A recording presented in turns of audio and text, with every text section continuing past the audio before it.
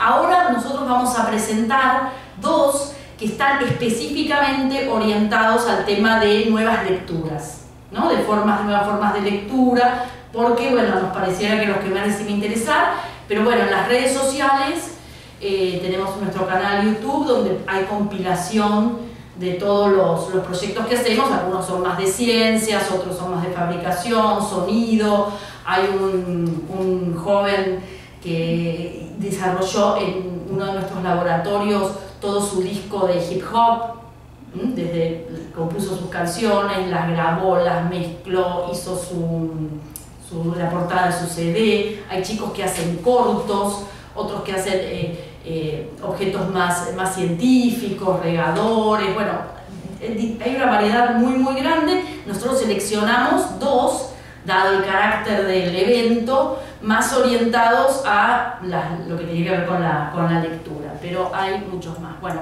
vamos a poner el... Uno de ellos se hizo en Bahía Blanca, es un proyecto de audiolibros y el coordinador pedagógico de, de Bahía Blanca, Sebastián Luce, en este momento no podía em, participar vía videoconferencia, entonces grabó un video. Lo ponemos entonces desde el principio, es el proyecto de Buenas tardes, ¿cómo están? Mi nombre es Sebastián, soy uno de los coordinadores de acá de Infinito por Descubrir Bahía Blanca, junto a Ana, que es otra coordinadora. Yo trabajo como coordinador pedagógico y Ana es la coordinadora general de Infinito. Bueno, esta invitación eh, pensamos, bueno, ¿qué hacemos ahora? ¿Cómo nos escuchan los chicos? Porque si una de las problemáticas son las pantallas, tenemos que hacer otra cosa se pensaron muchas variables, equipos de música y eso, y bueno, resolvimos, como en Infinito Variar siempre estamos reutilizando, reciclando las cosas, pedirle a la comunidad esos MP3, MP4 que no usan porque ya están obsoletos, están encajonados, que nos traigan infinito, que nosotros lo llenamos con esos contenidos, lo llenamos de magia, de audiocuentos, y lo devolvíamos a la comunidad en formato de audiocuentos para pediatría del hospital municipal y fue un impacto muy lindo el que se generó y ahora si quieren les cuento el presente, lo que fue con trabajar con los chicos acá. Antes de verle los objetivos o los contenidos, quiero contarles que fue muy grato trabajar con los cuentos con los chicos que vinieron entre chicos de 6 a 18 años.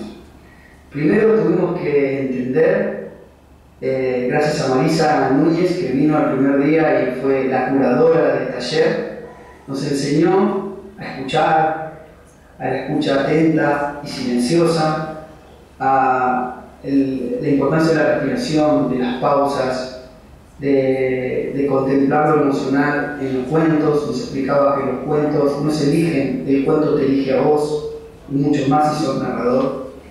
Bueno, eso fue muy gratificante porque nos enseñó muchísimo.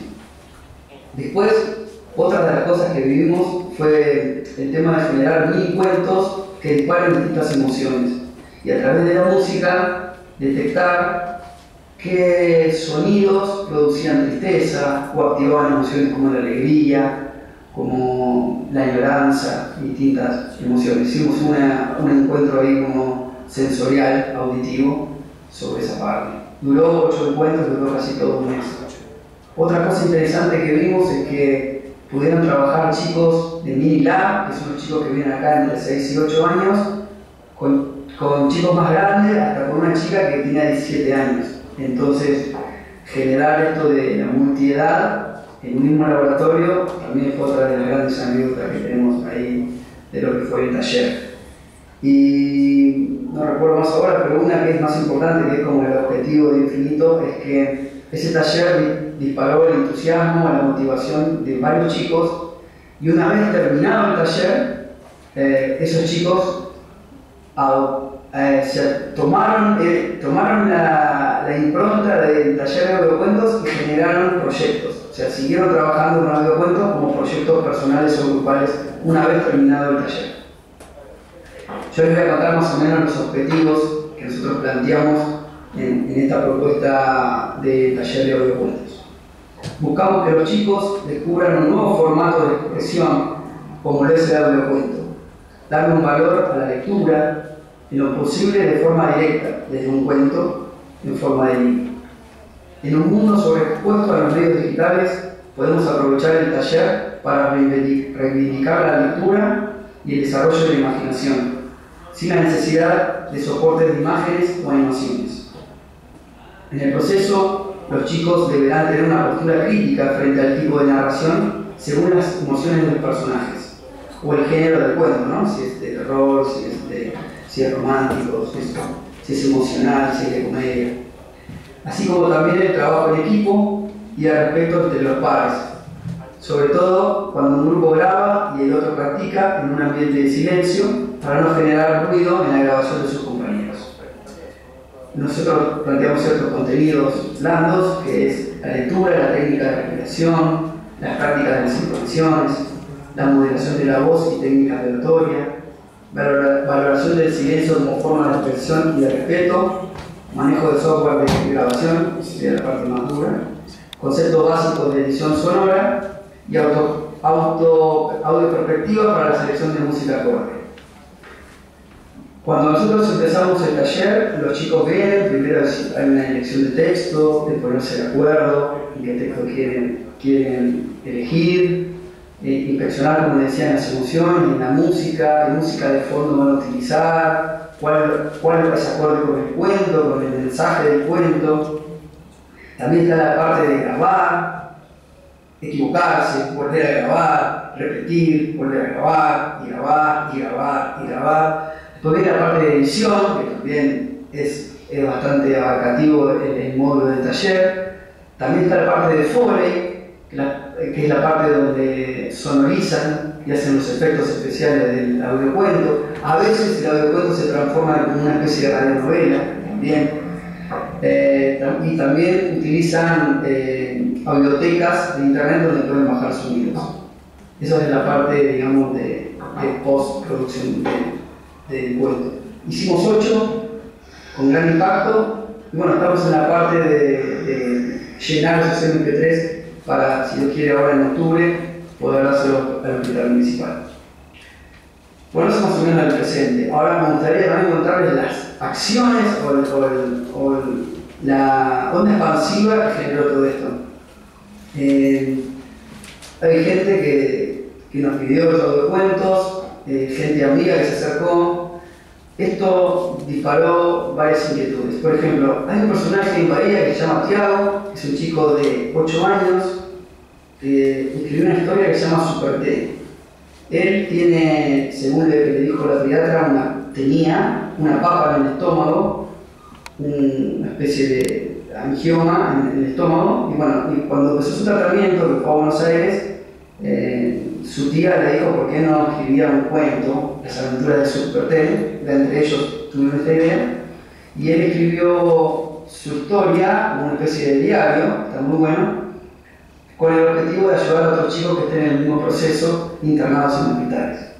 Entonces, bueno, como es de Bahía, cuando se enteró de esto, una amiga en común, vino Super T y ahora su cuento lo vamos a hacer audio cuento y lo vamos a poner también entre los contenidos de, de, Infinito. Y esto disparó otras ideas más, ¿no? Pero um, esta es linda de que él, un chico de 8 años, pueda narrar su historia, su cuento en formato de cuento para que otros chicos la escuchen en cualquier lado. Como ellos ya tenían una buena eh, base de datos por distintos hospitales, probablemente esos audiocuentos se expandan en, en otro formato que ahora les cuento, al hospital italiano, al Garrahan, Ayúdale, bueno, a todos los lugares que, que, sean necesarios. Esto también disparó otra acción que es a través del laboratorio de multimedia, en el laboratorio de fabricación, con Javier y con Facundo, eh, vamos a desarrollar una aplicación en la cual este, estos audiocuentos van a estar alojados en forma gratuita para que estos contenidos puedan ser escuchados por chicos y adultos en cualquier parte del, país, donde sea, ya sea que estés en un hospital, en una plaza, donde quieras, para que puedan disfrutar de esto de forma gratuita. Eh, y, y, en colación también de esto, que pueda llegar a los hospitales, ayudarle y esos lugares. Eso fue otra acción. Y la última que se hará en octubre es que con la gente de Traficantes de Palabras vamos a hacer uno o dos encuentros que se llamarán Era así una vez, donde vamos a estar abiertos a la comunidad y los padres van a poder entrar en infinito y ser parte de una experiencia de narración, de cuento, para después, si quieren, eh, también participar en todos los proyectos que la gente de traficantes de palabras hacen en acciones en, barrios, en hospitales. ¿Sí? Para, para, promocionar eso. Y después de ese, de ese, encuentro con los adultos, los chicos entran en infinito y van a hacer distintas actividades de audiocuento, de ebooks, de fanzine, de cuentos con pop-up y, cuentos, también llamamos cuentos con lupa, narrado con lupa, que es un proceso muy interesante. Entonces, lo que quería contar es cómo, cómo se gestionó lo maravilloso de durante el proceso de, creación, de narración, de edición, y lo que es más bonito aún es, la, es el impacto que tuvo social y cómo una pequeña idea se expandió tanto como la imaginación de un chico cuando está escuchando un cuento. Bueno, muchas gracias. Hasta luego. este, este aplauso La verdad que fue un súper buen proyecto, muy, muy impresionante. Y, bueno, esto salió de un taller proyecto, es lo que decíamos. Eh, a veces los proyectos un poquito más guiados dan resultados un poco más completos. Lo que Seba no dijo en su evaluación, que fue súper completa, es todo lo que aprendieron los chicos, además, haciendo este, este taller y este, y este proyecto. ¿no? Bueno, ahora vamos a ver otro de, claro, otro de los proyectos de Infinito, este sí en vivo, desde, nuestro, desde, Mendoza. Ahí está Romy, Romy Méndez, que es la coordinadora pedagógica, y va a contar el, el proyecto Historias de Papel, ¿eh? que es otro de los proyectos realizados en los centros que tenía que ver. Hola, hola Ceci. Hola Romy, ¿cómo estás? Todo bien, acá estoy con Guada, que pertenece al Ministerio de. al. Perdón, al Laboratorio de Multimedia. Ah, pensé que había un ministerio. no. Hola Guada, ¿cómo estás? Yo estoy medio de costadito y no te veía. Hola Guada, hola Romy, ¿cómo estás? Lo estamos creando, Ceci, en este momento. No, eh, bueno, nosotros pertenecemos a Infinito por Descubrir Mendoza. Y bueno, queremos contarles un taller que hicimos que se llama Historias de Papel. Bueno. buenas tardes a todos y a todas. vemos que distintas provincias nos están escuchando, así que un gusto poder compartir esto de Infinito por Descubrir, lo que hacemos en multimedia en Mendoza. En, particular, este taller de historias de papel viene como una idea trabajado con, con, el resto del equipo de multimedia, pensando que era necesario poder eh, tener un lugar un espacio para los relatos, para los cuentos, las historias. Eh, que nosotros vimos que, si bien nosotros todos leemos, hemos leído algunos cuentos, nos comparten historias, también se transforman muchos en películas y los chicos lo, lo conocen, lo ven habitualmente, pero dijimos, ¿cómo pueden participar ellos haciendo? Haciendo algo que tuviera que ver con los relatos. Em, entonces, nosotros planteamos hacer historias de papel, que es eh, un taller de ilustración creativa. Este taller de ilustración creativa propone que en un primer momento lo que vamos a realizar es un, es un relato de cuentos breves previamente seleccionado por el equipo de Wikimedia. Eh, muchos de ellos tienen que ver con el realismo mágico, con historias fantásticas, ciencia ficción también, que, son cosas que, géneros que atraen mucho a los chicos y también nos puede servir para, de disparadores para distintas eh, temáticas dentro de lo que es el laboratorio multimedia. Y entonces comenzamos con estos relatos eh, contando, bueno, en cada uno de los momentos especiales que tiene el cuento, poder eh, ver quiénes son los personajes, en qué escenario se desarrollan, eh, los cuentos principales, que todo eso se lo pedimos a los chicos que una vez que terminamos el relato, que ellos lo describan, a ver cómo lo vieron, cómo lo visualizaron. Entonces así estamos eh, probando digamos, el poder de la imaginación. Comenzamos entonces con ese relato y luego les proponemos que hagan una identificación eh, de justamente quiénes van a ser los personajes principales, quiénes son las escenas o los escenarios, cuáles son los escenarios que ven, y todo eso que lo vamos a desarrollar con un tipo de ilustración diferente, con técnicas eh, que no son las habituales. Que en esto eh, empezamos a pensarlo y preguntarles a él mismo y todos nos ponemos a charlar, rato muy interesante, eh, a ver cuáles son las técnicas que conocen, si, para, si ven solamente dibujos, eh, si ven fotografías en los libros, eh, distintas técnicas o cómo las reconocen ellos. Y entonces a partir de la charla también empezamos a meter las variantes que podrían haber diferentes o convencionales para realizar una ilustración. Y, ahí la propuesta es que la ilustración se realice a partir de papel y pasando de las dos dimensiones a las tres dimensiones. Y así poder eh, explorar el cambio, cómo se maneja en el espacio con diferentes volúmenes que generan el papel, las luces, cómo incide la, la luz, todo eso que también eh, lo trabajen también por la observación e incluso por la fotografía, también acá intervenimos con la tecnología de esa manera. Entonces, bueno, eh, empezamos a, desarrollar eh, la etapa de armado directamente de cada una de las ilustraciones que necesitamos para armar los personajes y los escenarios que antes identificaron los chicos.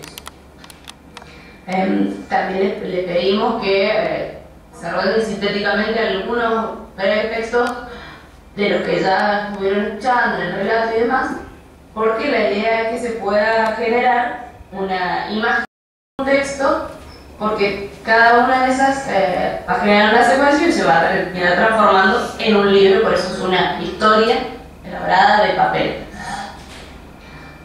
Em, nosotros también eh, estamos trabajando en otros talleres, por ejemplo hicimos un taller de fanzine, eh, los chicos ahora nos están tratando con otros chicos para armar una biblioteca dentro de lo que es infinito. Y bueno, queremos contar un poco de lo que hicimos en el fanzine, que fue el último taller que, hicimos. Claro, sí.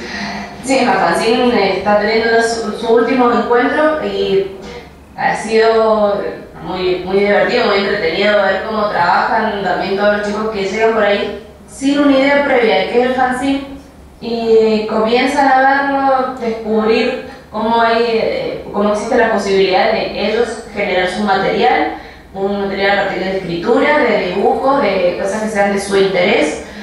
Trabajan en equipo porque entonces el que sabía un poquito más de un tema le explica al otro, buscan diferentes tipos de encuadernación. Em, también todo esto se trabaja mucho eh, aprovechando los tutoriales, los videos tutoriales. Eh, los mismos chicos proponen cosas que vieron en algún momento y nosotros también, bueno, les acercamos algo particular. Eh, lo bueno es que ponemos a disposición materiales para las compu para estar buscando aparentemente todo lo que necesiten, eh, impresoras, le damos la posibilidad de cambiar materiales, entonces de pronto ya no usan solamente el papel tradicional, sino que pueden usar eh, plástico, materiales reciclables, eh, de todo, para crear una revista realizada totalmente por ellos, con los contenidos pensados por ellos y que después van a pensar la manera de cómo reproducirlo, sea a través de la fotocopia o de varias impresiones, o si lo quieren hacer totalmente manual todo eso bueno, lo, están trabajando en Fanzine, que ya próximamente se van a ver los trabajos terminados. Bueno, ¿algo más quieren comentar? La verdad que eh, en Mendoza hay muchísimos proyectos, habíamos seleccionado estos dos porque eran los que tenían que ver más con nuevas formas de lectura y escritura y no sé, eh, Romy igual quieren comentar alguna observación más sobre esto. Eh, no, sobre los talleres no, sino invitarlos si están cerca para que vayan y nos conozcan y podamos trabajar con ustedes, no hay problema. Buenísimo. En todas las bibliotecas. Bueno, son buenas ideas y además me parece que, que, cerró bastante lo que habíamos explicado de cómo veníamos eh, eh, pensando el proyecto con los ejemplos.